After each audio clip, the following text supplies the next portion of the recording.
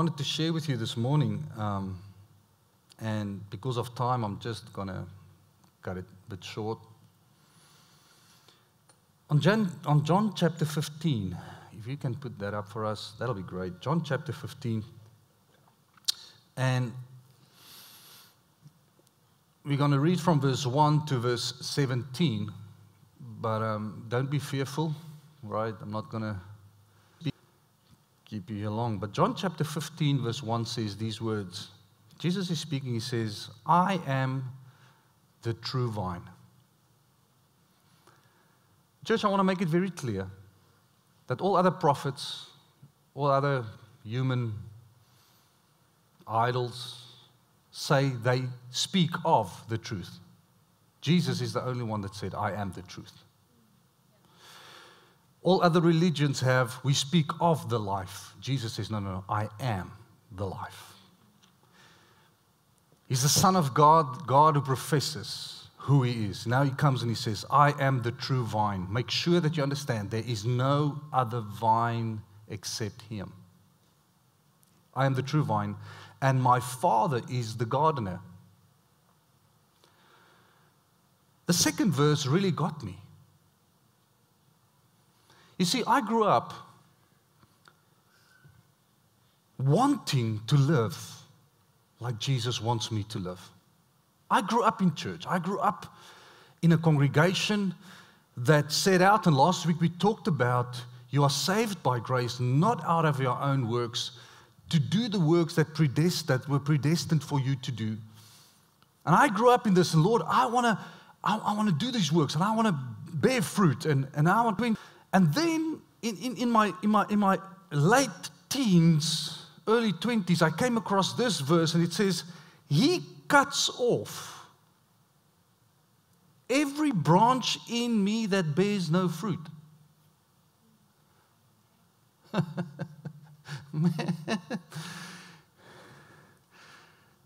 you, you, know, you, know, you know what did that, that did to me? Man, I went into overdrive performance mode. Do, uh, uh, do you understand what I'm saying? He cuts off every branch. Listen to how he says, In me that doesn't bear fruit. I said, God, I'm in you. Jesus, I believe I'm in you. Jesus, I believe I'm part of you. Man, I need to bear fruit. I need to, you know, need to work this thing. Have you ever felt that way? Have you felt what I want to do what you want me to do, Jesus, and I want to live that you want me to live, and, and, and now this is, you know. He says, every branch of me that bears no fruit, while every branch that does bear fruit, he prunes so that it will be even more fruitful. So if you, if you, if, if you bear fruit, then you are pruned. And if you don't bear fruit, you are cut off. Man, that put me in a spin. Can I just say, that took me out of rest. That put me in a place of performance, running, doing, trying to achieve, trying to do, trying to produce. Because I don't want to be cut off. I don't want to be cut off. I want to, I want to be part. And that took me on a journey to try and understand this. How do we, how do we say, I'm in Christ? Every branch that's in me, I'm in Christ. How does he cut me off when I'm in him? Does that make sense to you? That doesn't make sense to me.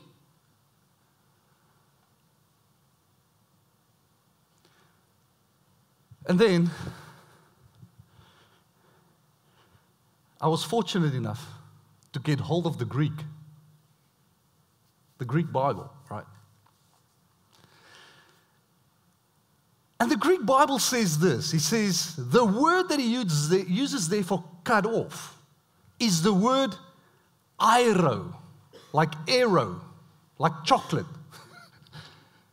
A, only A I R O, not A E I O, right? Not chocolate, not arrow, not, right? Do they have arrows here in Australia? I'm not sure. They do, right? Okay. So, so that's the Greek word, airo. And you know what that means? You know what that word means? That word means he raises up, lift up, picks up off the ground. Church, I want to say this to you. That changes that whole sentence. That changes my understanding. That means if I'm in Christ, I don't know about you, but but there are seasons in my life that I feel I'm bearing fruit and I prunes me and there's fruit. And there are seasons in my life where I feel, man, God, I'm struggling. Jesus, I need you. God, I, I, I just need you more. And then he says this, he says, he lifts up. It's the same word. It's the same words that is, that, that, that is used when the enemy talks to Jesus and says, the angels will lift you up. They will carry you so that you do not bump your foot against a stone. It's the same word that Peter used when he looked at the blind man and said these words. He says, Pick up your bed, lift up your bed, and walk. It's the same word. It's as if he says, Jesus, he raises up, lifts up, picks up every branch in me that bears no fruit. In other words, what he's saying to you is this do not disqualify yourself or come to a place where you disqualify yourself. Know that if you are in me, I lift you up. Now, there are some of you looking at me and say, Are you serious? I can't be more serious. I can't be more serious. And every branch in me that's in me that does bear fruit, he prunes so that it can be more fruitful. Church, do you understand why there are so many things in our lives trying to move us away from the rest of God. Trying to make put us in a performance mode where we work and try to achieve something outside of Christ. Do you understand why there's so many things craving for your attention, craving to, to, to move you away from the place where you can say, Be still and know? Do you understand why the enemy wants you to try to make you focus on you and not on the true vine, Jesus Christ. Because he understands that when he gets your focus away from him, you will be on your own, trying to do it on your own. It's impossible to produce fruit on your own. We're going to see that. Jesus says to them, verse 3, You are already clean because of the word that I have spoken to you. He says this remain in me. I think the, the, the, the, Old King James talks about abide. Abide in me, remain in me as I also remain in you. He says, No branch can bear fruit by itself, it must remain in the vine. Neither can you bear fruit unless you remain in me. So, what should your focus be? To bear fruit? Should that be the focus? So, what should be the focus? to remain in Him. Church, that is awesome news. That is amazing news. That is freeing. That is walk with me and work with me and learn from me and see how I do it. Do what? See how I do life. Uh, last week we said, do we still agree that the Bible is relevant for today? Do we still believe that the Bible is relevant in 2022 with our deadlines and our works and our programs and our and all our multimedia and everything that wants to speak to us? Is, is that still relevant for today? If we say yes, then we got to agree that when Jesus says, Walk with me, work for, with me, uh, see how I do it, that we live our lives the way He lived His life. Remain in Him. Without haste, without hurry, without confusion, remain in Him. Verse 5 says, I am the vine and you are the branches. If you remain in me and I in you, you will bear much fruit. Apart from me, you can do nothing. When I was younger and I read that, that, that really didn't make sense to me because I felt like, Jesus, I can do a lot of things. I can do a lot of things. Uh, uh, it, Uh, uh, do you agree? Without me, you can do nothing. No, no, no. There's some things that I can do. Very arrogant.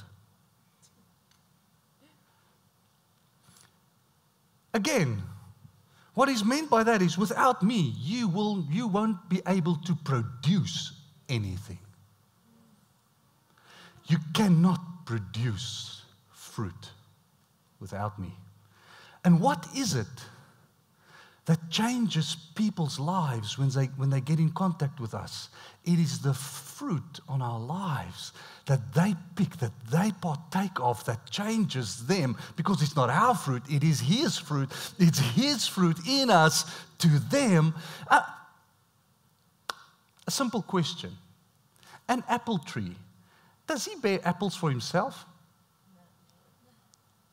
Does he bear apples and he say, Let me taste of my sweet apples? Oh, I've got such beautiful apples. Let me taste of them. No, man. but people come and they taste of the apples that this apple tree produces. And exactly that's what Jesus is saying. He says, When you remain in me, when you are in me, when you stay in me, you will be able to produce something that gives life to people when they meet you. Amen. That is what I want to be. I want to be this person that when I connect with people that they love Jesus more than what they did when we first met. When they walk away from me, they must experience Jesus and God's life. That is why we said we cannot start with our works. We cannot start with where we are. We got to start with in Christ. Now, the verse that's so many times quoted, when I quote verse 2, and I, and I start to headbutt with with, with, with some religious people, they, they, they, say, yeah, yeah, but if you do not remain in me, you're like a branch that is thrown away and withers. Such branches are picked up, thrown into the fire, and burned. That is true. Listen to what it says if you do not remain in me. So, who makes that decision? We do. We make the decision and say, I am not in Christ anymore. You know what that says? I choose to do my own thing. I walk away from the source of life. Now I'm going to do it my way. Where does that get you? you know where that gets you? Dead. Dead branch. Unable to produce, unable to do anything. And it says this it says, those branches are picked up and thrown into the fire and burned if you are outside of Christ, if you make the decision to step away from Christ, if you make the decision to walk away from Him, you are a dead branch, unable to produce anything. So that is why it's important that you understand religion cannot save you. The do's and the don'ts cannot save you. The, the, the, the, the, the, the, the obeying of laws cannot save you. The doing of the commands cannot save you. The doing the good works that were predestined, that cannot save you. Remain in Christ. I love it when the young people start to speak and the young kids just start to agree.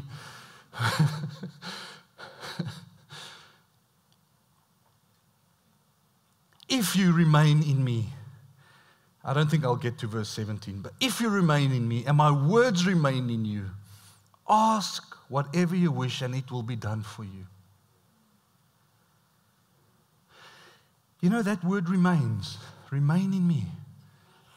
It's the same word that Paul uses when he says this words in, in Romans chapter 1 and 2, chapter 12, verse 1 and 2, sorry. Romans chapter 12, verse 1 and 2 says, Therefore I urge you, brothers and sisters, in the view of God's mercy, to offer your bodies as a living sacrifice, holy and pleasing to God. This is your true and proper worship. Do not conform. So the word conform, he says, remain in me. Is conform to my way of living. That is to, that is to remain. Remain in me. Conform to me. He says, he says, do not conform. Do not, do not remain in the pattern of this world. Do not stay there, but be transformed by the renewing of your mind. Change the way you see. Then you will be able to test and prove what God's will is, His good and perfect will. This is exactly what Jesus is saying. If you remain in me, you will ask whatever, and my Father will do what you ask. Because you remain in Him, His will remain in you. Does that make sense? In closing, verse 8 This is my Father's glory, that you bear much fruit, showing yourselves to be my disciples, showing yourselves to look like Him. And as the Father has loved me, so I have loved you. Now remain in my love. Listen to what He says, church. Remain in my love. Remain, conform to my love. Stay in my love. And this is where we headbutt again with a lot of religious folk.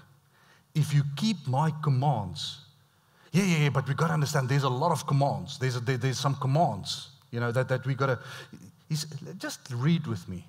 If you keep my commands, you will remain in my love. So remain in my love, just as I have kept my Father's commands and remain in his love. And I have told you this, that my joy may be in you and that your joy may be complete. Why did he say our joy will be complete? If we stay in his commands, if we remain in his love, what is these commands? He says, My command is this. In case you wonder, in case you get confused, by a whole of religious stuff. This is my command love each other as I have loved you.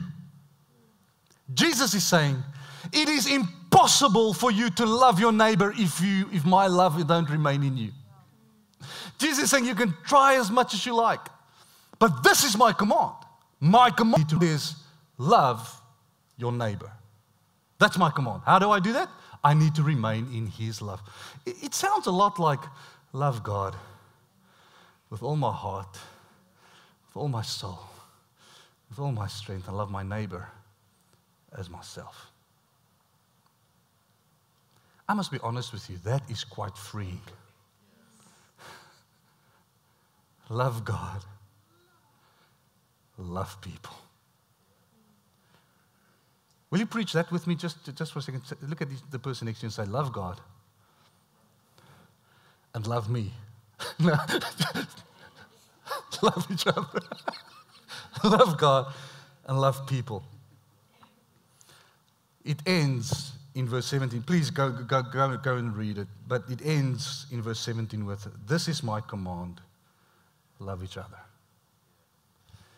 If there is one thing, church, that I did see over this period, is that when people move away from the love of God and move away from the remaining in Him and trying to think things through and trying to work it all out with our minds, one thing that I did see is we get into struggles and pains and fights with people around us. We, we, we, we get to, in arguments, we get in, in, in confusion, we get in. The moment we step away from remaining in Him, we start to fight with each other. Isn't that true? And God is saying, if you're worn out, and if you're burned out, and if you've done everything you can do, come back to me. Remain in me.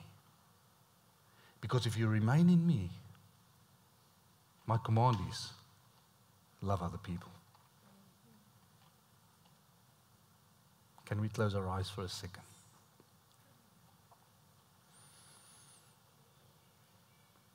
Like I said to you, we've started this